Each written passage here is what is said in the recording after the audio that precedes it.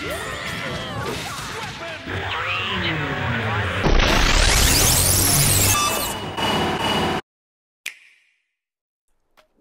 everybody doing today? This is Mikey with NindieNexus.net, and I took a look into Ninjala today. So once you first open it up, it downloads an update. You go through all the security screens. You definitely read those policies. You don't really read those policies. Then you go into the character select screen. I know we're just jumping into it right now, uh, but I am recording a little bit of voiceover from the gameplay that I had just a little bit ago. So I went with this character with the backwards uh, snapback because that's more so my style.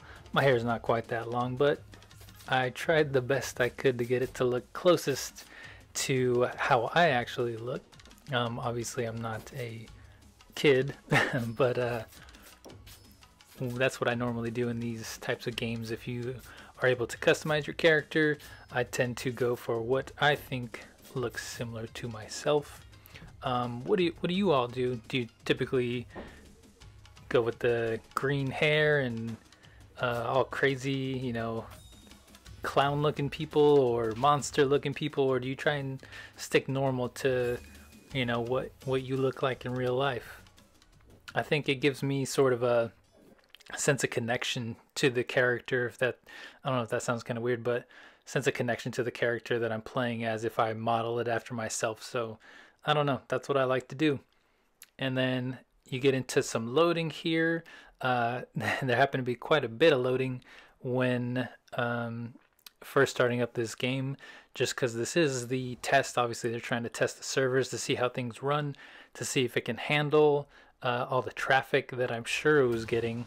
This is the first test that they've done, and so um, I didn't have super high expectations for it just knowing Nintendo's track record and their online uh, history, especially with this being, you know, people from all over.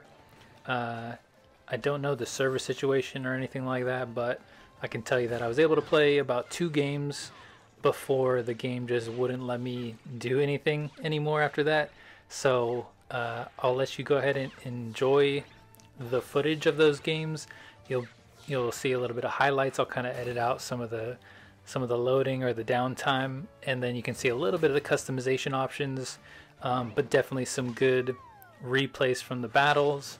And uh, yeah, let us know what you think in the comments down below. Don't forget to like and subscribe if you like our content, and uh, visit NindieNexus.net for all your indie game needs.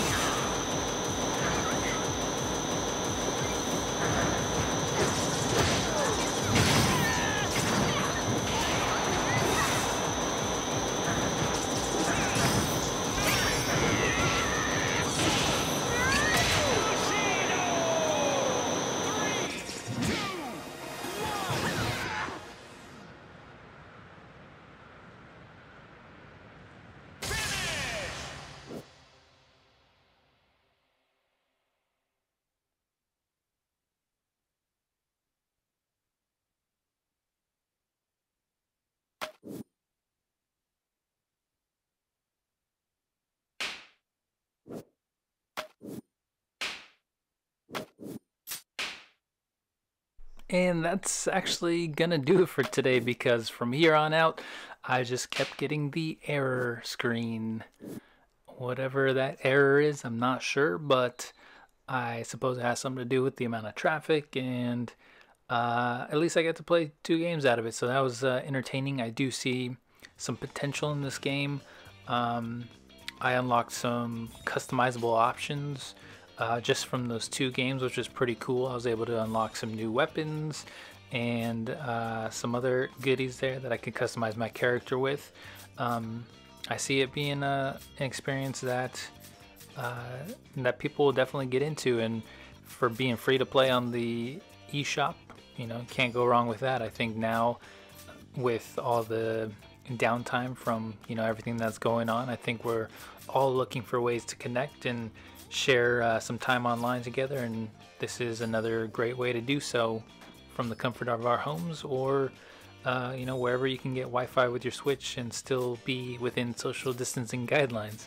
So if you have any other comments, questions, anything, leave them down below in the comment section. Don't forget like, subscribe, and tune in next time for more great content here on Nindie Nexus.